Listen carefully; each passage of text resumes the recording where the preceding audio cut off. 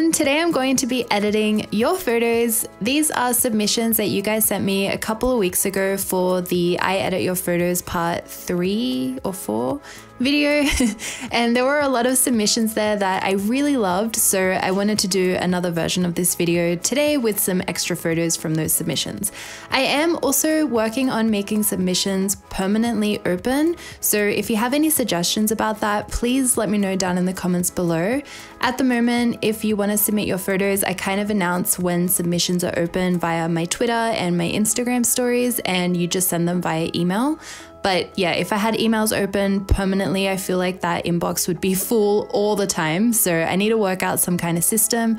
So hopefully in the next version of this video, I'll have something open for you guys to submit. Okay, let's get started. The first photo we have is by Dominic. And the first thing I like to do to any low light or underexposed photo is to bring up the exposure quite high just to see how much detail we have to work with, which in this photo seems like quite a lot, which is good. So I'm gonna pull it down a little bit because I don't want it to be that bright. And then I'm gonna hit the shortcut R for crop and straighten out the image. One of the first things I'm noticing about this photo is that it looks quite colorful since it was taken on what looks like to be a main street of a city. So in HSL, I'm gonna click on saturation and I'm going to start by bringing down the magenta and the purple sliders. Also going to bring down the blues and aquas to help mute those lights. And then I'm also going to see what happens with the yellows. I'm going to bring the yellows up because I really love the color of the trees in the background. So I kind of want to accentuate that. And then we'll see with orange. I'm going to bring the orange slider down ever so slightly to help with the subject's skin tone. And then with red, I think I'm going to pull it up because I really want her dress to stand out. It's a really beautiful color. The next thing I want to do is go into hue. With the red slider, I want to bring it down to kind of bring out a more crimson color in the subject's dress. And then with yellow, I want to pull that down to make the yellow in the background appear more orange and red. I feel like that would really suit this photo. And then I'm also going to do the same thing with green. And then the last hue slider that I want to play around with is the blue slider. I'm going to bring that down so the dark blue lights in the background have a little bit more of like an aqua turquoise kind of color to them. With luminance, I really want to bring out the background and our subject. So I'm going to pull the orange slider up to make those colors appear brighter. The same with yellow, I want to pull that up so the trees are a little bit brighter in the background and the green slider as well. Now I want to focus on the tones. So I'm going to start by bringing down the highlights. I'm also going to bring up the shadows to bring out even more details in the photo. And I'm going to bring the black slider down to add more contrast into the overall image. So that looks really cool. And then I think I'm also going to bring the temperature down. The next thing that I'm going to do is add a tone curve. So I want to matte the blacks because we have quite a lot of matte the shadows because there's quite a lot of uh, dark areas in our image and then pull down on the blacks. And that'll kind of help add a really nice soft tone to the blacks. Then I'm going to pull up on the midtones to help brighten up our subject and some parts of the background.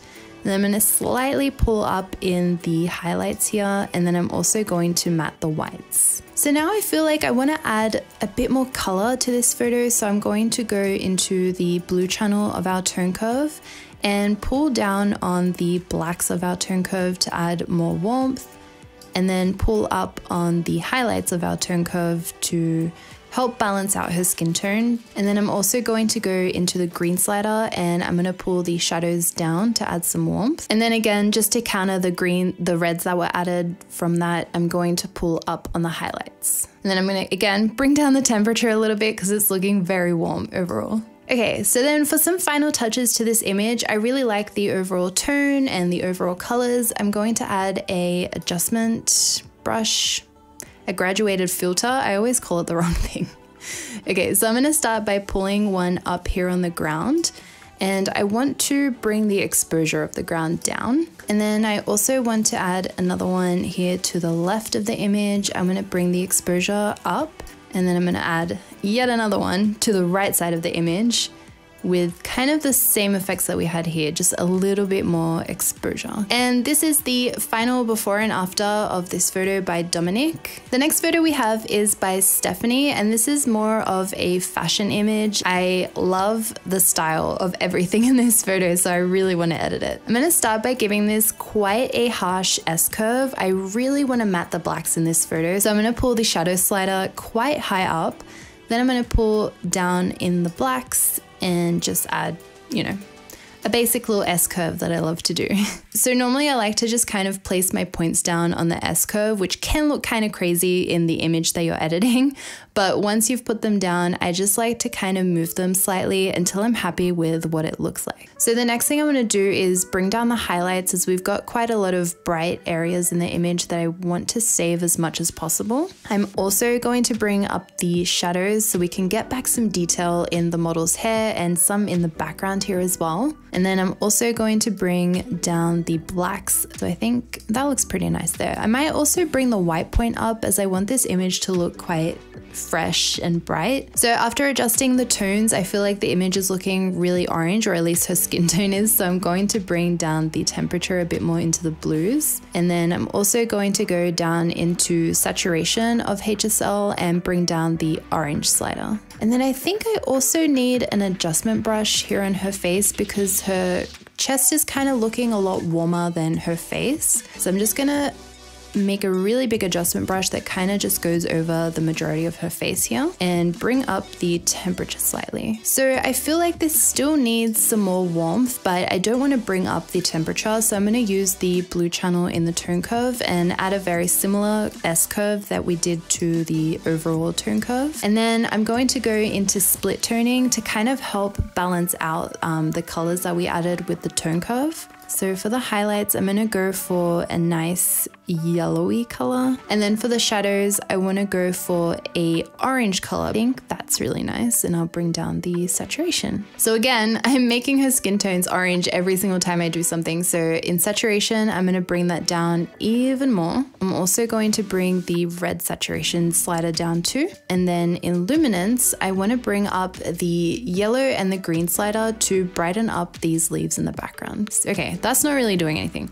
We're gonna add a graduated filter and I'm gonna just drag it across the side here.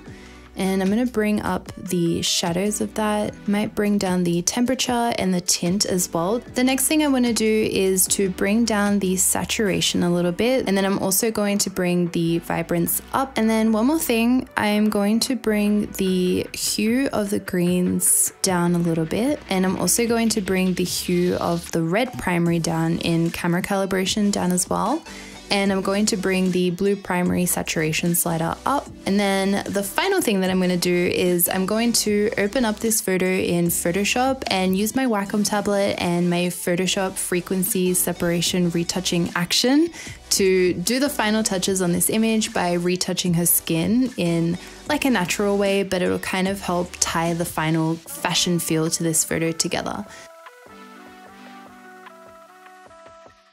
The next photo we have is taken by Anna. So the first thing I want to do is hit the shortcut R for crop and I'm going to straighten out the photo. And I'll also get your subject in the very center of the frame as well. So I'm going to start by brightening, brightening up the overall photo. And then I'm also going to bring up the shadows to bring out some more details in the forest that's in the background. And I'm also going to bring down the blacks to add some more contrast. And I'm also going to bring the contrast slider up. And then I also want to straight away bring down the saturation slider because I know I really want to focus on the greens of this image and I don't really want to see too much orange or yellow or reds and things like that. Scrolling down to HSL, I want to start and try and focus on bringing out as much detail in this forest as possible.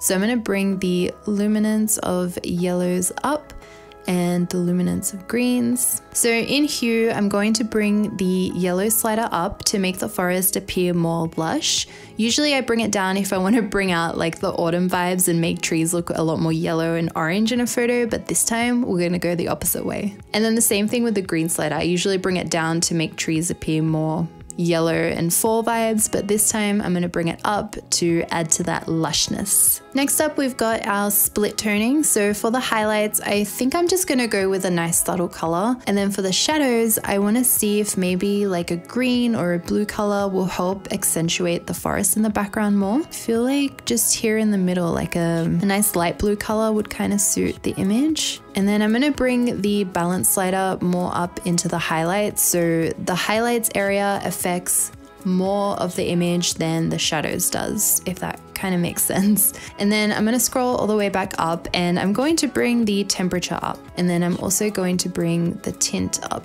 ever so slightly, maybe like plus 12 is nice. So now I'm gonna scroll down to calibration and I wanna bring the hue slider of the blues down. And then I'm going to also bring the green saturation down and I'm gonna pull the red saturation down a little as well. The next thing I wanna do is add a graduated filter to the bridge here in the corner.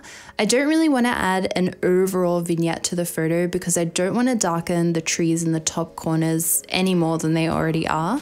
So I'm just gonna drag one of these across the corner here and I'm gonna bring down the exposure. So I feel like the bridge is taking away a lot of attention. So if we just bring down that exposure a little bit, it should help the eye be led to the subject a bit more. So I think that looks nice. And then I'm gonna do the same thing on this side.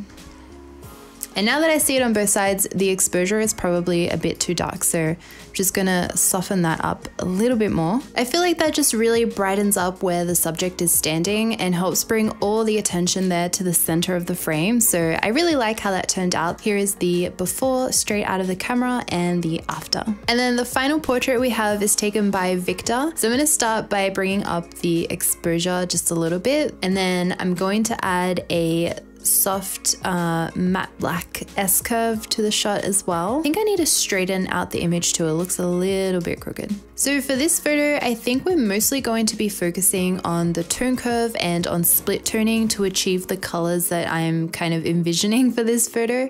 So I'm going to start with the blue channel as usual, and I'm going to bring the shadows of the blues up and then I'm going to bring the blacks and midtones down to add some green and some warmth. And then I'm going to bring the whites up to kind of balance out his skin tone more as well. And then I'm going to bring the temperature up to make it warmer and the tint as well. The next thing I want to do is bring down the saturation slider and bring up the vibrant slider because I really love these trees and these colors in the background. And then now we're gonna go into split toning. So I'm going to start with the shadows this time and I'm gonna bring the saturation up quite high. So I feel like blue looks really nice in the shadows, but I also really like how yellow and orange look as well.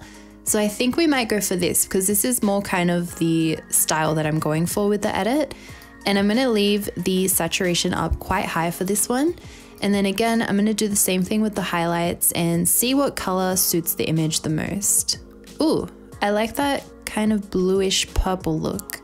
So I think I'm gonna keep it there. And again, I'm going to keep the saturation up quite high for this one too. The next thing I wanna adjust is that I can see a little bit of greens in the midtones, which is probably from our tone curve here. So I'm going to try making a new tone curve in the green channel and bringing down the shadows. Oh yeah, that's nice.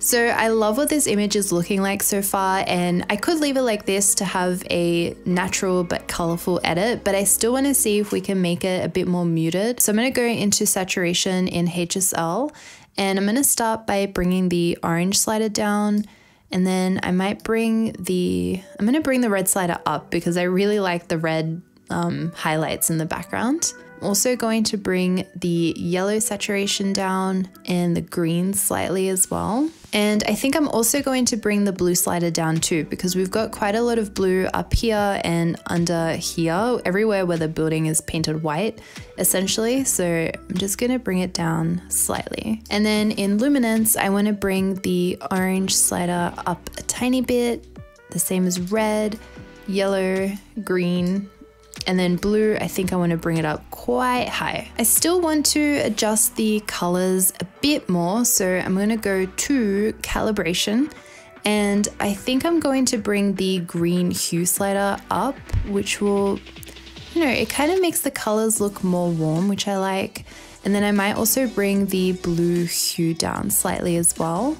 And then I'm going to bring the red saturation slider down. And I'm also going to bring the tint of the shadows up more into the pinks, but only by like I think plus two is more than enough. And then I'm also going to just adjust the points of our blue curve a little bit more as well. So I'm going to bring the blue blacks point up and also the blue midtones point up and then in the green, I'm going to pull the greens down again just a little bit for that nice amount of warmth. And I think I'm really happy with how that turned out. I really like the overall colors of this image. So here is the final before and after of this photo taken by Victor. But yeah, that's all we have for today's video. I really hope you guys enjoyed watching that. I hope you learned something from seeing me edit some different photos in different styles in Lightroom. I really hope you guys enjoyed watching. Thank you for watching. I make new videos every single week, so I will see you guys all next time. Bye!